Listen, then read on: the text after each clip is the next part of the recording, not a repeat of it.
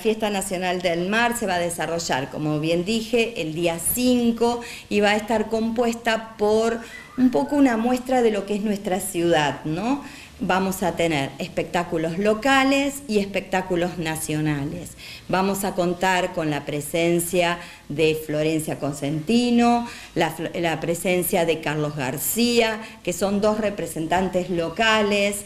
Vamos a contar con el show de eh, Aníbal Pachano, vamos a contar con un musical de tango, con eh, la visita de Enoch y vamos a cerrar con un grupo eh, que se llama Gapornis, que es todo conocido por nosotros, y ese va a ser el cierre de nuestra fiesta nacional.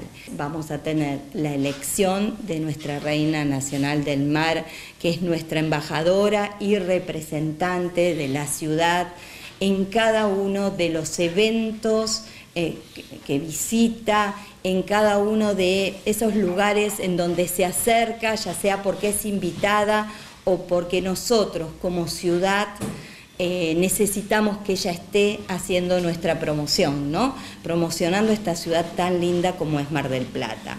Esta semana, Ni Una Menos Mar del Plata expresó su descontento por la tradicional elección de la Reina Nacional del Mar. El colectivo de organizaciones que integran el movimiento y acompaña la causa destacó que año a año el municipio reproduce un evento misógino y sexista. Por su parte, la presidenta del EMTUR expresó. Y realmente creo que vamos caminando en, un mismo sentido. Nosotros estamos designando y estamos eligiendo la persona que va a representar a la ciudad, que la va a promocionar.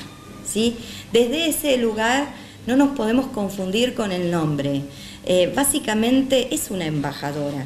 Creo que hay un desconocimiento también de cómo se hace el proceso de selección, cómo, eh, cómo se trabaja con las personas que han llegado a esta final, ¿sí? a las 12 finalistas.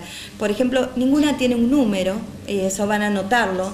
Esto tiene un, elemento fundamental. O sea, acá estamos hablando de una Natalia, de una Florencia, ¿sí? de eh, Gabriela. Eh, eh, Micaela, son personas que tienen nombre, que tienen una capacitación en la cual hemos trabajado.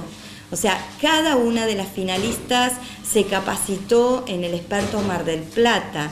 Cada una de ellas empezó a a crecer en su conocimiento con respecto a la ciudad, más allá de lo que traía como caudal propio. Nosotros estamos eligiendo la representante para que promocione esta hermosa ciudad.